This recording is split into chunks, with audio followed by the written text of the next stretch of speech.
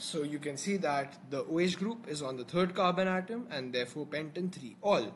Now there will be no geometric isomers because no carbon-carbon double bonds but the, and there will be no optical isomers because no chiral center. Because you can see that the third carbon atom it's not attached to four different groups because even though the H and OH are different it is attached to CH3CH2 on this side and CH2CH3 on this side. So same groups on both sides so this is not a chiral center. So this will exist as a single isomer as a single stereoisomer. It will not have any stereoisomers. Now we are done with all the five carbon main chain isomers. Let's go to the four carbon isomer uh, uh, four carbon main chain isomers. So if you see uh, uh structural isomers, isomerism can be positional isomerism or chain isomerism. So we have already changed the position of OH groups on five carbon atoms now we are done with this. So let's start changing the chain. Let's start branching the chain from now onwards.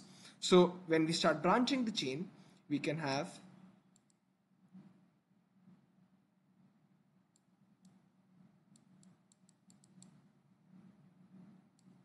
So what I've done is I've, I've picked up this methyl group and I've attached it to this carbon atom. So if we start naming the main chain, it becomes uh, numbering, sorry, numbering the main chain, it becomes 1, 2, 3, 4 or 4. So it can be either way. You can have anything as the fourth carbon atom because you can see that in both cases the longest chain has four carbon atoms and when we start when we name this isomer we can see that there is a methyl group on the third carbon atom. There is a methyl group on the third carbon atom and the alcohol group on the first carbon atom. So this will become 3-methyl, 3-methyl because methyl group on the third carbon atom,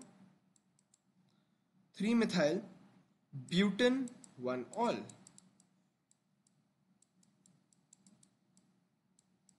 Three methyl butan one ol because you can see that uh, uh, 3-methyl because methyl group on the third carbon atom, butan because there are four carbon atoms in the main chain which is the longest chain and 1-ol because the alcohol group is on the first carbon atom. And then we can have,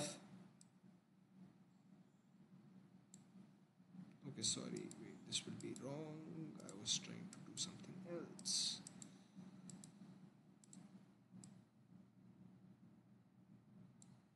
Uh, I did it again. I keep forgetting that it has to be a four carbon atom chain. Yeah, this is fine. And then the methyl was already here. But this time what I've done is that I've taken this molecule, but I've moved the OH to the second carbon atom this time.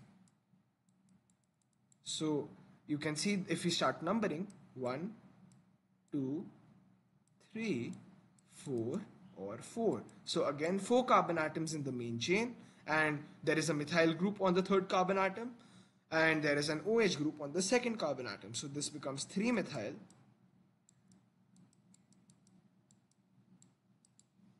butan 2-ol. 3-methyl because methyl group on the third carbon atom, butan because 4 carbon atoms in the main chain and 2-ol because alcohol group on the second carbon atom.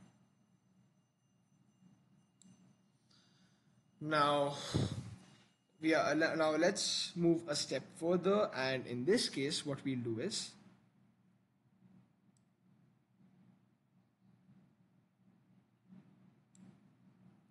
so the methyl group again stays over here but we add an OH group also over here. So earlier the OH group was here but now it's moved to this position.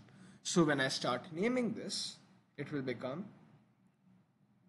1 or 1 2 3 and 4 so this time you can see that um, uh, you can you can name the chain from anywhere. It doesn't matter. From this one or this one it doesn't matter.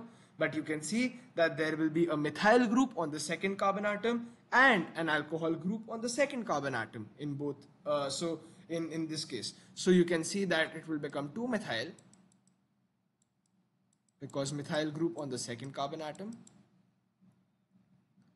butan to all. So you can see that both the alcohol group and the methyl group were on the second carbon atom. So 2 methyl butan 2 ol.